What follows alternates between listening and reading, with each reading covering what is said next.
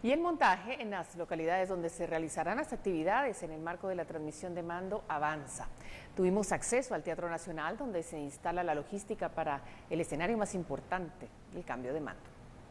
Esta es la gran sala Efraín Recinos del Teatro Nacional. La disposición del escenario y la acústica serán nuevamente el recinto para la investidura presidencial, luego de que hace cuatro años la toma de posesión fuera en el domo de la zona 13. Tuvimos acceso al montaje y a la logística del acto de Estado a cargo de la Cancillería y de la Secretaría de Asuntos Administrativos y de Seguridad de la Presidencia. Eh, hemos trabajado arduamente con una comisión eh, de investidura y teatro para las mejoras, hemos trabajado con las autoridades del Ministerio de Cultura, eh, ya hemos hecho el montaje de los distintos eventos. A la ceremonia de transmisión de mando presidencial asistirán los presidentes de El Salvador, Honduras, Costa Rica, México y República Dominicana. Ecuador, el señor primer ministro de Belice, el rey Juan Carlos eh, de España, Asimismo tenemos también la confirmación de algunos vicepresidentes, como el señor vicepresidente de Estados Unidos, el vicepresidente de Nicaragua, el vicepresidente de Cuba. Como protocolo del acto, la logística de la Cancillería se rige en la ley de ceremonial diplomático.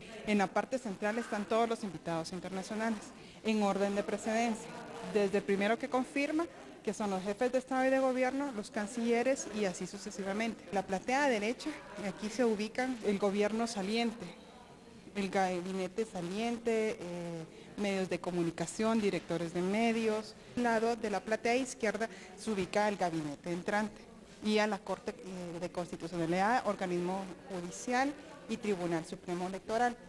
El evento tendrá varias sedes. El miércoles iniciará con el saludo de despedida del gobierno de transición. Continúa el jueves con la elección de la Junta Directiva del Congreso. Por la tarde, la sesión solemne de investidura presidencial en el Teatro Nacional. Sigue la misa del Tedeum en la Catedral Metropolitana y continúa en el Palacio Nacional con la presentación de los 14 ministros de Estado. El costo de la transmisión de mando superará los 2 millones de quetzales. Lo más costoso será la seguridad para los jefes o representantes de los países visitantes. Por una Guatemala en paz, Carolina Leverón y Rafael Ovalle.